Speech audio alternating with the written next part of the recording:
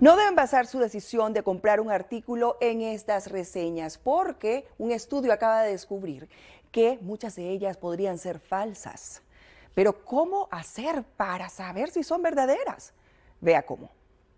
Antes de comprar algo en línea, por lo general nos guiamos por las reseñas de otros consumidores sobre ese artículo. Pero, ¿sabía que el 5 al 30% de ellas en línea son falsas? Según una investigación de la Universidad de Suffolk en Boston.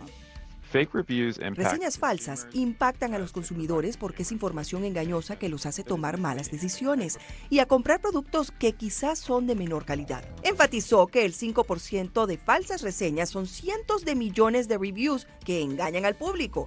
Ocurre más frecuentemente en ciertas categorías no name electronics, cheap Productos electrónicos baratos o de marcas desconocidas, paraguas, productos que son muy parecidos y hay mucha competencia para vender. La falsa reseña está diseñada para atraer la atención del consumidor. ¿Cómo podemos identificar las reseñas falsas? Son usualmente cortas con lenguaje genérico y muy positivo. También pueden ser muy negativas si una compañía quiere hacerle daño a otra debemos buscar las reseñas más largas que hablan específicamente de cómo el consumidor está usando el producto y menciona cuándo lo compró.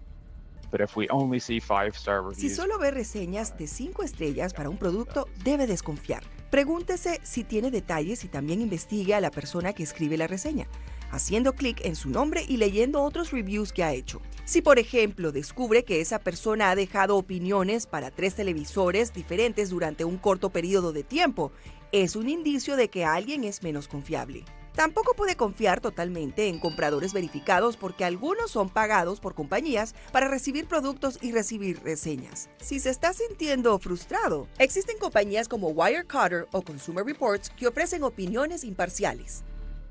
Agradecemos sus preguntas y quejas como consumidores que nos han enviado en este 2022.